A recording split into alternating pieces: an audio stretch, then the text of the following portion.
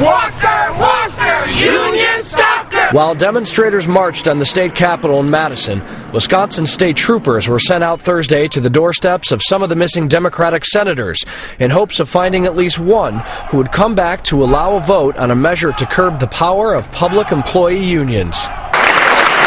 Only one senator is all it takes for the bill to be taken up. Many union members outside the Capitol were outspoken on Governor Scott Walker. You know, if he's got his baseball bat in there, like he said he did yesterday on the telephone, tell him which side of the building I'm on and bring it out here, you know? Let him come. I'm just trying to make a living, and I believe as everybody else, when he's done, if he gets done what he wants with uh, with the school teachers and the collective bargaining, he's coming after me next.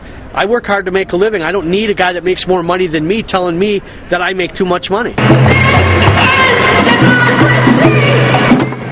Meanwhile, inside the Capitol building, the state assembly appeared close to voting on the union rights bill after more than two straight days of filibustering.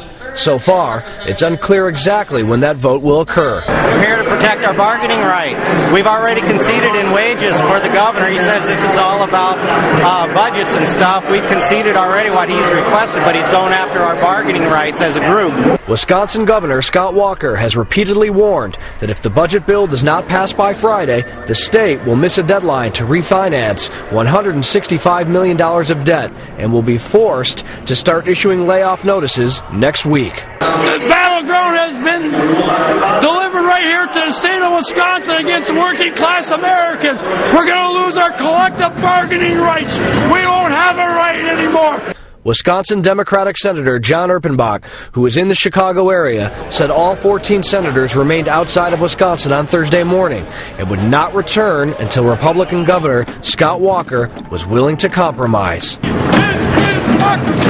Robert Ray, Associated Press, Madison, Wisconsin.